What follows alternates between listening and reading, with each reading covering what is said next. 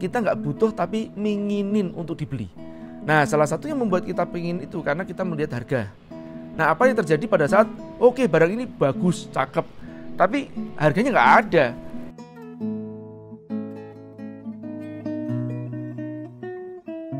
Dari Heru Gunawan, Masnya bagaimana membuat sebuah diferensiasi di all shop yang menggunakan platform Instagram? Sementara barang yang kita jual itu barang yang juga banyak dijual orang lain di platform yang sama. Misalkan sepatu futsal. Ini saya mau jawabnya agak sedikit nyeleneh teman-teman. Tapi ini experience saya. Oke, saya sebenarnya tidak serba suka sih dengan kata-kata platform Instagram atau yang disebut namanya platform toko online atau all shop tapi di Instagram. Ya, ini uh, Anda belum benar-benar serius banget gitu ya kalau Anda belum punya yang disebut namanya toko online atau website toko online Anda sendiri. Oke, saya jawab ya. Ada satu akun, akun sepatu nih di Instagram yang sampai sekarang saya masih saya follow nih. Meskipun penjualnya cukup menyebalkan. Dalam arti saat ketemu ya, saya pernah datang ke markasnya, saat berjumpa di sana memang menyebalkan sekali. Tapi kalau dia secara uh, online mungkin nice lah akunnya Anda bisa follow, bisa stalking karena buat saya ini akun ini harus jadi percontohan yang bagus juga. Ya. Namanya Sopir Gusdur, bukan pakai U tapi O ya. Sopir Gusdur. Nah, dia menjual produk standar, sisa import lah. Kalau saya sebut sisa import itu artinya begini. Produk-produk sepatu yang masuk dari luar biasanya kan sebelum masuk ke mall itu difilter lebih dahulu. Nah, inilah katakanlah ada reject-reject kecil yang tidak kelihatan gitu ya. Nyaris tidak kelihatan kalau orang itu tidak teliti banget. Nah itu di, dilempar ke tempat para reseller-reseller sepatu saat ini. Nah uh, apa sih spesialnya di akun ini? Itu yang pertama adalah foto produk yang lengkap dan berkualitas. Jadi dia kalau majang foto tuh nggak sembarangan foto bukan foto di tas kresek dipajang atau ditaruh uh, di lantai di di foto begitu ya. Dipajang bukan seperti itu. Dia nyari foto-fotonya berkualitas. Ya. Nah kemudian uh, informasinya cukup lengkap. Harga buat saya sih ini termasuk miring. Saya kalau saya itu gak, gak suka mengatakan paling murah ya teman-teman. Karena kalau bicara masalah paling murah ya kalau beda-beda sedikit tapi saya suruh searching terus searching terus saya lebih baik mengatakan uh, reasonable price gitu ya dibandingkan the cheapest price. Ya jadi reasonable itu masuk akal ya. Tidak mukul ya. Tidak paling murah juga. Kadang dia mungkin termasuk termurah kadang dia tidak paling murah juga. Tapi yang penting tidak mukul harga. Nah uh, jadi harganya dia termasuk harga yang miring dan nggak pernah mukul itu menurut saya. Yang ketiga poinnya adalah harga tercantum. Ini saya sukanya ya ini yang buat saya masih follow dia, harganya tercantum, nggak perlu pakai kata-kata DM, DM bro, DM sis. Itu yang paling buat saya orang yang menurut saya ya omsetnya akan segede orang yang kasih harga transparan. Ya, saya paling gampang gini loh teman-teman. Anda perhatikan baik-baik deh. Toko-toko branded itu, itu tidak ada yang namanya harganya pakai DM deman. Ya, biasanya dia transparan. Tapi Mas J, ini punya kan brandnya bukan punya aku sendiri Mas J, punyanya orang lain. Ya ini saya kasih contoh nih. Ini contoh nih yang akun sopir Gus Dur pun juga harganya dia transparan. Ya, seperti saya katakan, dia tidak perlu paling murah, setidaknya tidak perlu mukul harga. Itu sudah saya akan beli itu loh. Customer udah seneng. Ya. Nah, yang paling jelas uh, kalau begitu DM itu, itu mungkin kita sekali, dua kali atau mungkin produknya sudah sangat bagus banget gitu ya, baru niat atau tertarik banget baru niat DM. Tapi bisa jadi loh teman-teman saya awalnya tidak tertarik untuk membeli produk ini, tapi karena tahu harganya yang cukup murah. Nah, jadi Anda harus tahu ya, value ini price ya VS price-nya ini dumping banget udah saya lihat ih murah murah. Yang tadinya saya tidak butuh, saya menjadi ingin. Anda harus tahu.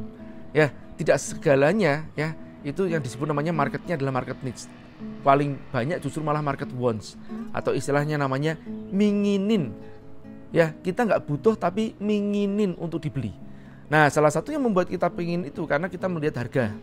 Nah apa yang terjadi pada saat oke okay, barang ini bagus, cakep, tapi harganya nggak ada.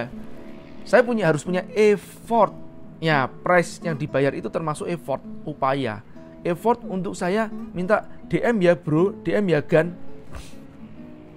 Setelah DM tahu harganya mahal, ternyata maksudnya harganya mahal itu bukan berarti kemahalan, bukan. Mahal maksudnya tidak affordable buat saya, terus besok tanya lagi harganya tidak affordable buat saya lagi, besok lagi tanya lagi tidak affordable buat saya lagi, besoknya saya udah nggak mau tanya lagi.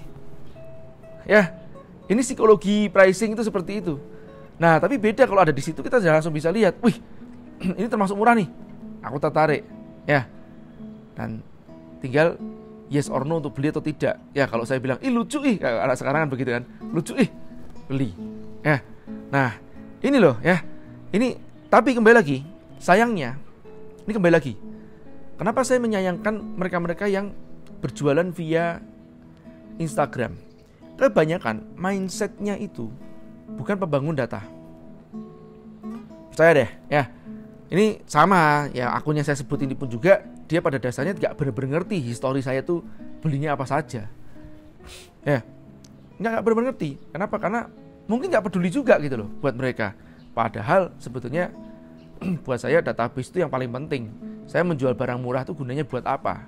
Kalau tidak untuk mengakuisisi user. Nah setelah diakuisisi baru nanti kita jual barang-barang yang berikutnya yang berikutnya ya nah kembali lagi itu yang sangat saya sayangkan bagi kawan-kawan yang uh, berjualan di sosial media kebanyakan tidak membangun database pelanggan jadi nggak ngerti kalau tanyain uh, siapa saja yang beli profilnya apa atau istilahnya namanya demografisnya apa geografisnya berapa persen di mana di mana nah kemudian berapa angka repeat ordernya ya berapa lama dia biasanya repeat order atau beli. Nah ini tidak ada semuanya. Dan nggak punya uh, markas online akhirnya bergantung pada medsos dan marketplace. Pada saat bergeser tren marketplace dan bergeser tren medsos, mereka harus membangun database dari awal lagi. Coba Anda perhatikan. dari zaman dulu kita di Friendster, bahkan sebelum di Friendster tuh ada namanya zamannya chat ya. Zaman masuk ke Friendster, Friendster ke uh, Facebook, Facebook pindah ke Twitter sebelum akhirnya ada Instagram, lari lagi ke Instagram, ya.